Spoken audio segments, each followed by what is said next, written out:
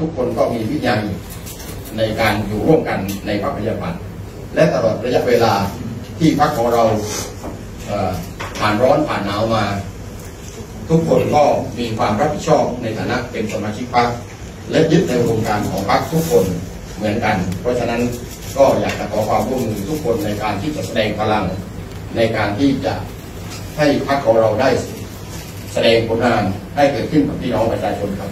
คือคือมติพักมันจะทบทวนไม่ได้หรอกครับ เพราะว่ามติพักเนี่ยมันมาพร้อมกับเงื่อนไขสามข้อที่จะร่วมรัฐบาลซึ่งคนสสอีกกลุ่มหนึงเขาเห็นว่าขณะนี้มันอาจจะเข้าหนึ่งในเงื่อนไขสามข้อที่ไม่สามารถร่วมรัฐบาลได้แต่ถ้า ถ้าเรายังเอามติพักมายึดไว้อย่างนี้ฮะโดยที่ไม่สนใจสภาพแวดล้อมการทำงานเนี่ยมันมันมันจะทำให้พรรคประชาธิปัตย์เองเหมือนปิดโอกาสที่จะทบทวนตัวเอง คือในขณะนี้ยังไม่มีการประชุมนะครับ เพราะฉะนั้นก็ยังไม่สามารถที่จะทบทวนมติพักได้ แต่ว่าอย่างไรก็ตามผมคิดว่าในเรื่องกรณีดังกล่าวนี้ ก็เป็นเรื่องความรับผิดชอบโดยตรงนะครับ โดยเฉพาะในกรณีของร้อยเอกธรรมนัฐพรมเผ่านะครับ เป็นกรณีที่หัวหน้าพักพลังประชารัฐหรือนายกรัฐมนตรีในฐานะที่เป็นผู้เสนอชื่อพลเอกธรรมนัฐก็จะต้องไปดำเนินการในส่วนนั้น ในส่วนของพระยาปัตย์เราก็จะ พิจารณาหรือดูหรือติดตามในส่วนที่เป็นของพรรคของเรา ให้ได้ทำหน้าที่อย่างเต็มที่ก่อนในช่วงดังกล่าวนี้ครับ แล้วแล้วเงื่อนไขที่ว่าคือสามข้อนี่คือดำเนินนโยบายโดยเฉพาะประกันรายได้ใช่ไหมฮะอันที่สองก็คือแก้ไขรัฐธรรมนูญและอันที่สามคือต้องซื่อสัตย์สุจริตไม่มีการทุจริตแต่ว่าตอนนี้เขามองว่ามันมันมันขาดเงื่อนไขไปทั้งการความซื่อสัตย์สุจริตแล้วก็ การแก้ไขรัฐธรรมนูเองแล้วก็ราชาเลยครับมันมันเหมือนมันพอที่จะทบทวนได้แล้วตรงนี้สังคมเขาก็มองกันอย่างนี้คือเราต้องยอมรับความเป็นจริงนะครับว่า เรายึดหลักอุดมการของพรรคอย่างมั่นคงครับพรรคประชาธิปัตย์แล้วก็เงื่อนไขในการรัฐบาลทั้งสามข้อในขณะนี้ก็ได้ดำเนินการในกระบวนการที่อออยู่ในการทำงานหรือบริหารราชการแผ่นดินอยู่นะครับ ไม่ว่าจะเป็นเรื่องของความซื่อสัตย์สุจริตเรื่องของการแก้ไขกฎหมายรัฐธรรมนูญเพราะฉะนั้นผมคิดว่าเราก็ต้องรอให้ผลการตรวจสอบในแต่ละเรื่องคือผลการปฏิบัติงาในแต่ละเรื่องที่ออกมาอย่างแท้จริง โดยเฉพาะในเรื่องของการแก้ไขกฎหมายรัฐธรรมนูญผมในฐานะที่เป็นรองประธานคณะกรรมการชุดนี้ ขอยืนยันว่าค่ปัดเราก็ยึดหลักที่ชัดเจนที่ได้รับมอบหมายจากพรรคเนี่ยไปทำหน้าที่ คณะกรรมการทุกคนอย่างเข้มแข็ง และเราก็พยายามที่จะเสนอประเด็นที่เป็นปัญหาต่อการบริหารราชการแผ่นดินนะครับ เพื่อนำไปสู่กระบวนการในการที่จะแก้ไขต่อไป แต่ว่าในขณะนี้เนี่ยเพียงเพียงแต่เป็นกระบวนการในการที่จะศึกษาแนวทางและหลักเกณฑ์ในการแก้ไขในการแก้ไขกฎหมายรัฐมนูญนะครับแล้วแล้วในประเด็นความซื่อสัตย์สุจริตนะครับ เพราะว่าที่พรรคประชาธิปัตย์ยังไม่ถอนตัวจากรัฐบาลตอนนี้เนี่ยแสดงว่า ยังเห็นว่าการทำงานของรัฐบาลโดยเฉพาะทั้งกรณีอภิปรายไม่ไว้วางใจ แล้วก็กรณีหน้ากากอนามัยเนี่ยแสดงว่ายังบริหารจัดการอย่างสุจริตอยู่ใช่ไหมครับถึงยังไม่ถอนตัวคือในส่วนนั้นพักได้มีมติไปแล้วนะครับ ถ้าหากว่าผลของการตรวจสอบในประเด็นของความไม่สุจริตเกิดขึ้นก็เป็นเรื่องที่พักจะสามารถนำมาพิจารณาตามเงื่อนไขต่อไปได้แต่ขณะนี้เมื่อยังไม่มีข้อยุติพักเป็นสถาบันทางการเมืองนะครับ อย่าไปตัดสินใจเอาเพียงแต่ความรู้สึก หรือว่าข้อเท็จจริงที่ไม่ครบถ้วนเนี่ยพักคงทำไม่ได้ เพราะฉะนั้นพวกผมทุกคนเนี่ยมีความเห็นเช่นนี้ ว่าเมื่อพักยังไม่มีมติ ทุกคนก็ต้องเคารพต่อมติพักไม่ได้ว่าไปกีดกั้นในเรื่องของการแสดงความคิดเห็น อันนี้เป็นพื้นฐานของแต่ละคน ซึ่งไม่เหมือนกันนะครับ บางคนแสดงความคิดเห็นบนพื้นฐานความรับผิดชอบของตัวเอง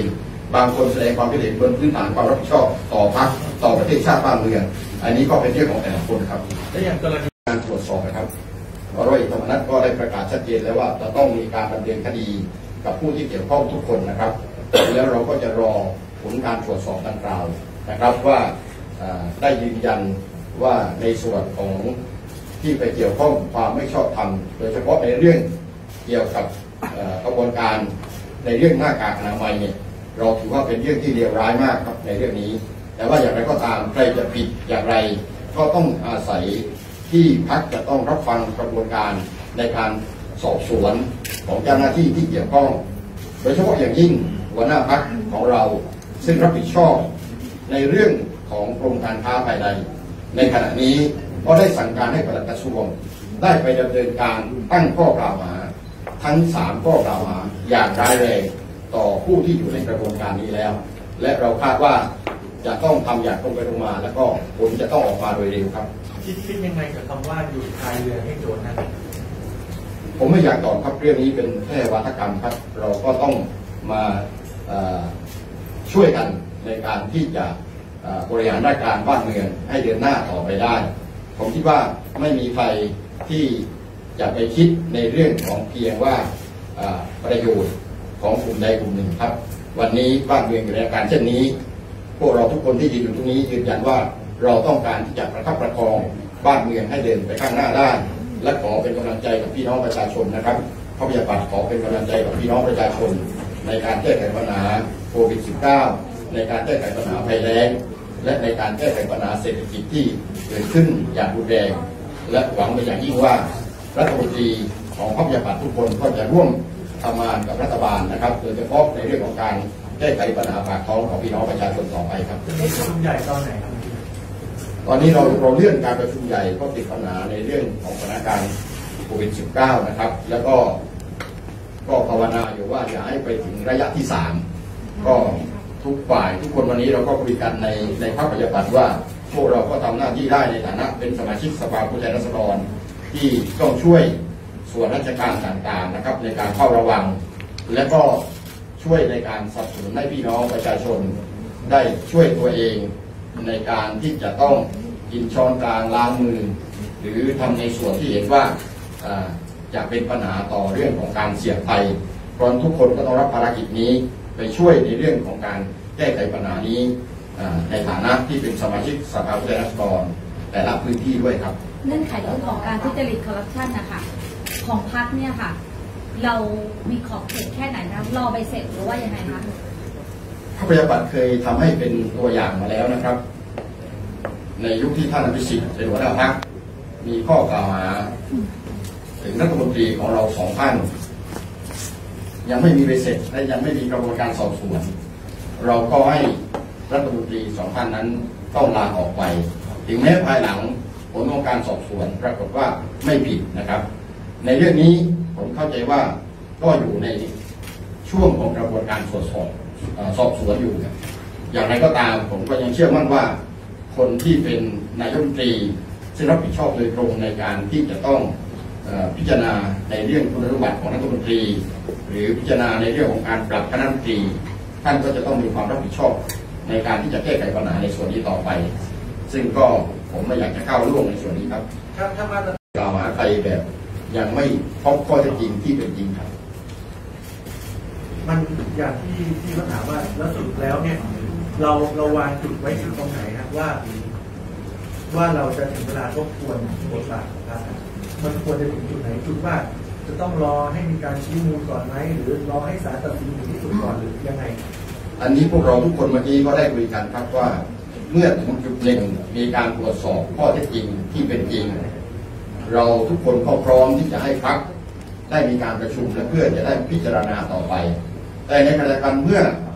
ข้อสรุปยังไม่ชัดเจน เราก็ขอร้องเพื่อนสมาชิกพรรคเหมือนกันครับว่า เราก็ไม่ควรที่จะไปกล่าวหา หรือไปพูดก่อนที่มีมติของพรรคนะครับ ไม่นั้นก็จะถือว่าเป็นการไปกล่าวหาคนอื่นก่อนที่จะมีมติพรรคซึ่งถ้าเป็นอย่างนี้ตลอดก็จะทำให้เกิด ข้อปัญหาจากสื่อมวลชนหรือพี่น้องประชาชนว่าพรรคประชาธิปัตย์ไม่มีเอกภาพเพราะจึงมาขอร้องในเรื่องนี้อีกครั้งหนึ่งตามที่ผมได้กราบเรียนไปแล้วครับ ยังยืนยันเงื่อนไขสามข้อที่ยังยืนยันอุดมการณ์ของพรรคสิบข้อ และเงื่อนไขสามข้อ และเชื่อมั่นว่าทุกคนที่ยืนอยู่ที่นี้ เราต่างคนต่างมีอุดมการณ์ของพรรคที่ชัดเจนนะครับ